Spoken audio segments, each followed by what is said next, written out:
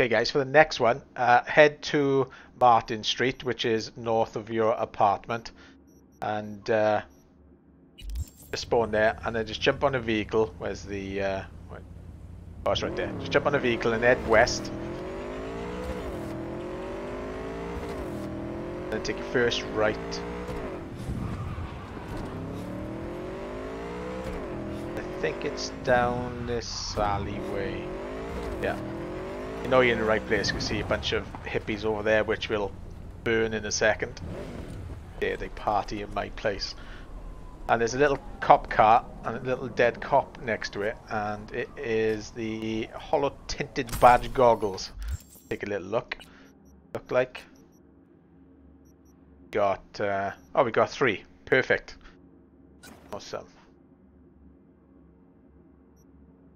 Pretty cool. I like them.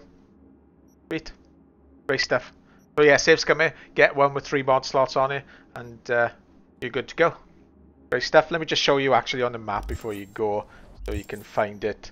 Uh, it's right there, look. So just come down from the west, from the spawn point, uh, take a right, and then cut in, and uh, it's just there in that little crevice. Awesome. See you guys.